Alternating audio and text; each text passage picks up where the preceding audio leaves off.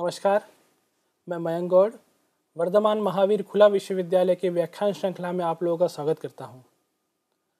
आज हमारे साथ स्टूडियो में मौजूद हैं वर्धमान महावीर खुला विश्वविद्यालय के शिक्षा विभाग के डॉक्टर अखिलेश कुमार। आज हम डॉक्टर अखिलेश कुमार जी से चर्चा करेंगे विशेष आवश्यकता वाले विद्यार्थियों की शिक्षा पर। सर नमस्कार। नमस्कार। डॉक्टर साहब विशेष आवश्यकता वाले विद्यार्थी से आपका क्या तात्पर्य है?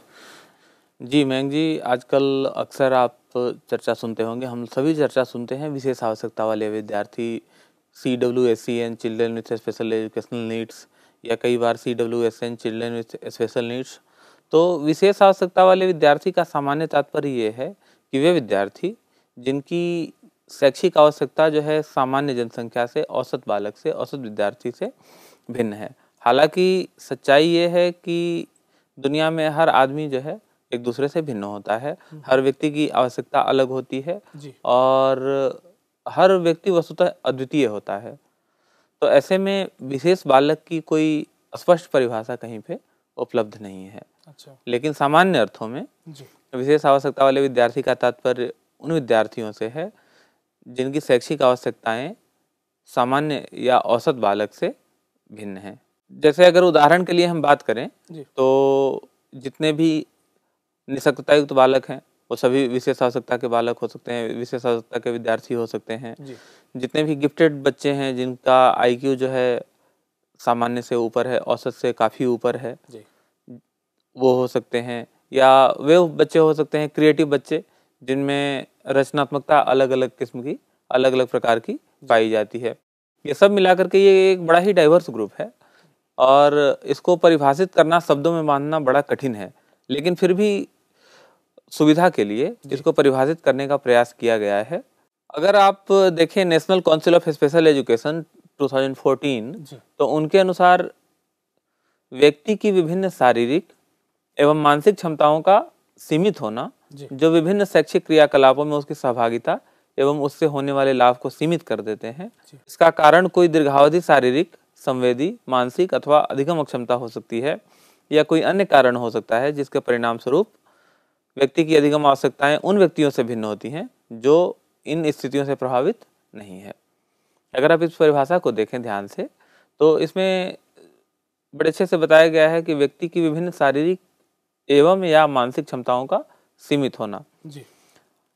जो विभिन्न शैक्षिक क्रियाकलापों में उसकी सहभागिता एवं उससे होने वाले लाभ को सीमित कर देती है। जी। कहने का मतलब है कि एक ऐसी स्थिति विशेष आवश्यकता का तात्पर्य है। जी। जिसके कारण व्यक्ति की शारीरिक या मानसिक क्षमताएँ जो हैं वो सीमित हो गई हैं और सामान्य शिक्षण से उनको लाभ नहीं हो पा रहा है। उनके लिए कुछ विशेष तकनीकों की विशेष शिक्षण कौशलों की आवश्यकता है। उनकी आवश्यकताएँ एक शैक्षिक आवश्यकताएँ जो उनकी हैं वो एक सामान्य विद्यार्थी से एक सामान्य बालक से अलग है। हालाँकि इस परिभाषा में एक कमी है कि इसमें ये कहा गया है कि व्यक्ति की विभिन्न शारीरिक और मानसिक क्षमताओं का सीमित हो जाना। जी।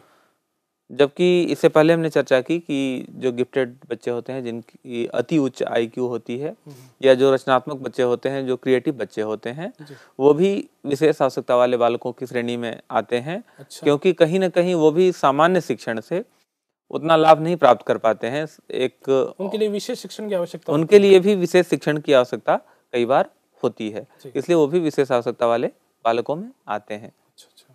डॉक्टर साहब क्या निशक्तता युक्त बालक विशेष आवश्यकता बालकों के अंतर्गत ही आते हैं? जी जी मैं जी जैसा कि अभी हमने इससे पहले चर्चा की कि विशेष आवश्यकता का सामान्य तात्पर्य यही है। कि बालक की शैक्षिक आवश्यकता जो है वो सामान्य या औसत बालक से अलग हो उससे भिन्न हो। तो ऐसे में जो विशेष आवश्यकता वाले बालकों का सबसे बड़ा समूह है जी। वो है निशक्तता युक्त बालकों का समूह। जितनी भी निशक्तताएँ हैं जी। और जितने भी निशक्तता युक्त बालक हैं वो विद्यार्थी हैं वो सभी विशेष आवश्यकता वाले विद्यार्थियों की श्रेणी में आते हैं। अगर हम अपने पीडब्ल्यूडी कानून उन्नीस सौ पंचानवे की बात करें तो सात प्रकार की निशक्तताएँ थी। जी। और जो नया कानून है हमारा R P W D act निशक्त जन अधिकार कानून 2016 जी। उसके अनुसार कुल 21 प्रकार की निशक्तताएँ हैं। तो ये सारे के सारे 21 प्रकार के निशक्तता युक्त विद्यार्थी जो है वह भी विशेष आवश्यकता वाले विद्यार्थी की श्रेणी में इसलिए आएँगे क्योंकि उनकी शैक्षिक आवश्यकताएँ अलग हैं। वो सामान्य शिक्षा से उतने लाभान्वित कई बार नहीं हो पाते हैं जितना होना चाहिए उतना लाभ उनको नहीं मिल पाता है। अगर आप जनगणना 2011 की बात करें अगर सिर्फ़ हम विशेष आवश्यकता वाले विद्यार्थियों में सिर्फ़ निशक्तता युक्त विद्यार्थियों की बात करें तो जनगणना 2011 के अनुसार संपूर्ण भारत में लगभग 2.21 परसेंट व्यक्ति अर्थात पूरी जनसंख्या का लगभग एक तिहाई दिव्यांग या विशेष आवश्यकता या निशक्तता युक्त विद्यार्थियों का है। जी। जैसा कि आप स्क्रीन पर देख पा रहे हैं कि दो करोड़ अड़सठ लाख दस हज़ार पाँच सौ संतावन व्यक्ति जो टोटल हैं वो निशक्तता युक्त हैं जिनके लिए अभी हाल फ़िलहाल में दिव्यांग शब्द का प्रचलन भी बढ़ा है। तो आप कह सकते हैं कि हमारे देश में कुल लगभग तीन करोड़ दिव्यांग व्यक्तियों की जनसंख्या है। इन तीन करोड़ दिव्यांग व्यक्तियों की जनसंख्या की शैक्षिक आवश्यकता को एड्रेस करने के लिए इनके शैक्षिक आवश्यकताओं को पूरा करने के लिए जी। इन्हें विशेष आवश्यकता वाले विद्यार्थी की श्रेणी में रखा गया है। ये सभी हमारे विशेष आवश्यकता युक्त विद्यार्थी हैं जितने भी निशक्ता वाले विद्यार्थी हैं सभी विशेष आवश्यकता वाले विद्यार्थी हैं। इसमें एक और बात करना चाहूँगा कि जो ये तीन करोड़ की संख्या है कि निशक्तता युक्त विद्यार्थी जो है या दिव्यांग विद्यार्थी जो दिव्यांग व्यक्ति जो संपूर्ण भारत में है वो तीन करोड़ की जनसंख्या है। जी। ये भी अभी जो जनगणना 2011 हुआ उसमें लिए गए परिभाषाओं पे है। अच्छा। और जनगणना 2011 में जो परिभाषाएँ ली गई थी वो उन्नीस सौ पंचानवे के पर्सन विद डिसेबिलिटीज एक्ट के तहत ली गई थी। तो ये जो पूरी जनसंख्या है ये उन सात प्रकार के दिव्यांगता युक्त व्यक्तियों का है। अच्छा अच्छा। जैसा कि हमने इससे पहले चर्चा की थी कि नए निशक्त जन अधिकार कानून 2016 में दिव्यांगता के प्रकार बढ़कर 21 हो गए हैं। जी। तो अगर उन सबको ऐड करें जी। तो ये संख्या बहुत बड़ी होगी। ये संख्या तीन करोड़ से आगे जाएगी। तो ऐसे में एक बहुत बड़ा समूह है दिव्यांगता युक्त विद्यार्थियों का भारत में जिनकी आवश्यकताओं को पूरा किए जाने की ज़रूरत है। जी जी। और वो सभी विशेष आवश्यकता युक्त विद्यार्थी की श्रेणी में विशेष आवश्यकता युक्त बालक की श्रेणी में विशेष आवश्यकता युक्त व्यक्ति की श्रेणी में आते हैं। तो हमें विशेष आवश्यकता वाले व्यक्तियों में उनके डेटा को अपडेट करना भी ज़रूरी है। हाँ डेटा तो अपडेट करना ज़रूरी है। पहली जो जनगणना है दिव्यांग व्यक्तियों की या निशक्ता युक्त व्यक्तियों की। वो 2011 में हमारे देश में हुई है। जी जी। और उसमें भी जो परिभाषाएँ ली गई वो उन्नीस सौ पंचानवे के कानून से ली गई जिसमें मात्र सात प्रकार की अक्षमताओं का वर्णन है। लेकिन अब जब अक्षमताएँ बढ़ करके 2016 के कानून के 2016 निशक्त जन अधिकार कानून में जी जी। 21 हो गई हैं तो अब अगली जो जनगणना होगी नेक्स्ट हमारी उसमें ये आएगा कि वस्तुतः संख्या कितनी है हमारे देश में दिव्यांग विद्यार्थियों की। जी डॉक्टर साहब हमारे देश में विशेष आवश्यकता वाले जो विद्यार्थी हैं उनकी शिक्षा में क्या क्या बाधाएँ आती है? अच्छा प्रश्न पूछा है आपने मैंग जी। जी। जो बाधाएँ आती हैं इसमें बहुत सारी हैं कुछ प्रमुख की चर्चा मैं करना चाहूँगा। कि सबसे पहला तो नकारात्मक सामाजिक अभिवृत्ति है। कि आज भी हमारे देश में उतनी जागरूकता नहीं आई है जी। जितनी आनी चाहिए। खास करके गाँव में ये कह देते हैं जो विशेष आवश्यकता वाले विद्यार्थी हैं खास करके जो निशक्तता वाले विद्यार्थी हैं कि इनको पढ़ाए जाने से क्या होगा ये पढ़ के क्या करेंगे? उनके प्रति एक नकारात्मक अभिवृत्ति समाज में भी परिवार में भी और लोगों में भी मौजूद है जिसको दूर किया जाने की ज़रूरत है। जब तक ये नकारात्मक अभिवृत्ति दूर नहीं होगी तब तक विशेष आवश्यकता वाले विद्यार्थियों की शिक्षा में उन्नति नहीं हो सकती। दूसरा जो कारण है जो दूसरी जो बड़ी बाधा है हमारे देश में निशक्तता युक्त विद्यार्थियों की शिक्षा में या विशेष विद्यार्थियों की शिक्षा में वो है सुगम्य भवनों एवं वातावरण की अनुपलब्धता। जितनी भी बिल्डिंगे हैं हमारी। वो निशक्तता विद्यार्थियों के लिए सुगम्य नहीं है। बिल्कुल। अभी U N C R P D United Nations convention on rights of person with disabilities जिस पर कि भारत सरकार ने 2007 में हस्ताक्षर किए हैं और उस कानून के तहत उस अंतर्राष्ट्रीय संधि के तहत जी। देश के सभी सरकारी भवनों को सुगम्य होना आवश्यक है। लेकिन अभी तक भी हमारे देश के सारे सरकारी भवन सरकारी भवन सारे तो छोड़ दीजिए। सारे सरकारी विद्यालय भी अभी तक सुगम्य नहीं हो पाए हैं। सुगम्यता का मतलब ये है कि कोई भी व्यक्ति चाहे वो निशक्तता युक्त हो या निशक्तता युक्त नहीं हो उसको आसानी से उस भवन के हर भाग में पहुँच। हो उदाहरण के लिए आप देखते होंगे कई जगह की सीढ़ियाँ भी बनी है और उसके बगल में रैम बना दिया गया है। तो ये एक उदाहरण है उसका भवनों को सुगम्य बनाने सुगम्य का। बनाने का। कि कोई आदमी अगर आता है एवरेज आदमी आता है एक सामान्य आदमी आता है तो वो सीढ़ियों से चढ़ जाएगा उसकी इच्छा। कोई विशेष आवश्यकता वाले व्यक्ति आएगा। तो रैंप के थ्रू उसको भवन में हर जगह पहुँच। है कई बार आपने देखा होगा कई जगह कि सारे रास्ते में हैंड रेल लगा होता है। हम्म, तो हैंड रेल लगाने का पर्पस यही हो- है कि अगर कोई निसक्ता व्यक्ति आए जो। व्हील चेयर पे बैठ करके आता हो तो वो उस हैंडल के थ्रू भवन में जहाँ पे भी जाना चाहे वो जा सकता है। तो ऐसे में सबसे पहले तो ज़रूरत है कि हमारे सारे विद्यालयों को सुगम्य बनाया जाए जी। और इसके लिए अभी एक्सेसिबल इंडिया कैंपेन भी चल रहा है। तो उम्मीद करते हैं कि आने वाले कुछ समय में हमारी ये समस्या शायद दूर होगी। इसके अलावा प्रमुख समस्या है जी। वो है कि विद्यालय में विशेष शिक्षकों का अभाव। अभाव है। विद्यालय में विशेष शिक्षकों की बहुत कमी है। हालाँकि अभी कुछ दिन पहले सीबीएसई ने ये रूल बनाए हैं ऐसे नियम ऐसे सर्कुलर जारी किए हैं हम्म, कि सभी विद्यालयों में कम से कम एक विशेष शिक्षक होना चाहिए। लेकिन आज की तारीख में भी जी। सभी विद्यालयों में हालाँकि हमारे सभी विद्यालय समावेशी विद्यालय घोषित किए जा चुके हैं हम्म, उसके बावजूद भी विशेष शिक्षक उपलब्ध नहीं है पर्याप्त मात्रा में। होना बाकी है। और जिसकी वजह से समावेशी शिक्षा में भी उन्हें जो विशेष सहायता चाहिए जी। वो निःशक्ता युक्त विद्यार्थियों को विशेष विद्यार्थियों को नहीं मिल पाता। इसके अलावा माता पिता की नकारात्मक अभिवृत्ति भी जिम्मेवार है।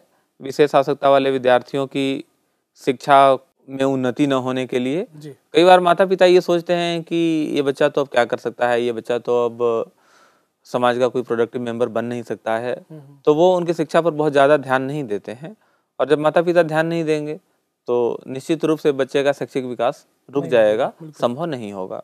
तो उनको ध्यान देना ज़रूरी उनको ध्यान देना माता पिता को ध्यान देना आवश्यक है और माता पिता को इस चीज़ से अवेयर कराना भी ज़रूरी है। माता पिता को अवेयर कराना भी ज़रूरी है कि उनकी शिक्षा आवश्यक है। साथ ही माता पिता के सहयोग के बिना वस्तुतः विशेष आवश्यकता युक्त विद्यार्थी के की शैक्षिक प्रगति हो ही नहीं सकती। उनकी क्या हर विद्यार्थी के शैक्षिक विकास में माता पिता का एक अहम रोल होता है? तो ऐसे में विशेष आवश्यकता वाले विद्यार्थियों की शिक्षा की बात अगर करें तो उनमें भी माता पिता की सहभागिता अति आवश्यक है जिसके बिना उनकी शैक्षिक उन्नति संभव नहीं है। इसके अलावा और भी जो कारण हैं जो। बाधक हैं विशेष आवश्यकता युक्त विद्यार्थियों की समावेशी शिक्षा में उनमें है विद्यालयों में उपयुक्त संसाधनों का अभाव है। जैसे अब कोई मान लीजिए ब्लाइंड बच्चा है स्कूल में एडमिशन लेता है। तो प्रत्येक स्कूल में न तो ब्रेल से रिलेटेड किताबें हैं न टॉकिंग बुक्स हैं।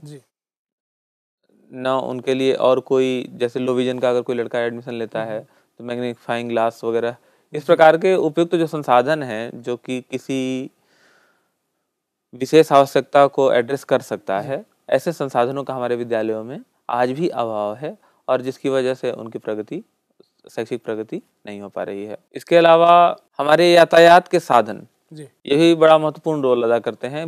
बच्चे को विद्यालय जाना है तो उसको कोई ना कोई यातायात का साधन ढूंढना पड़ेगा यातायात का साधन लेना पड़ेगा क्योंकि अगर बहुत पास में विद्यालय नहीं होगा मान लीजिए चार किलोमीटर पाँच किलोमीटर दूर हो तो यातायात का साधन लेना पड़ेगा। ऐसे में जो हमारे यातायात के साधन है वो डिसेबल फ्रेंडली नहीं है वो सुगम्य नहीं है। वो निःशक्ता युक्त विद्यार्थियों के लिए आसानी से एक्सेसिबल नहीं नहीं है। हालाँकि आजकल उसमें भी परिवर्तन आ रहे हैं। आपने ध्यान दिया होगा गौर किया होगा कि धीरे धीरे लो फ्लोर बसें चलाई जा रही हैं हर जगह। वो इन्हीं चीज़ों को ध्यान में रख करके चलाई जा रही हैं। तो अभी तक फिर भी जितना होना चाहिए उतना हमारे यातायात के साधन विशेष आवश्यकता वाले व्यक्तियों के लिए विशेष आवश्यकता वाले विद्यार्थियों के लिए सुगम्य नहीं है।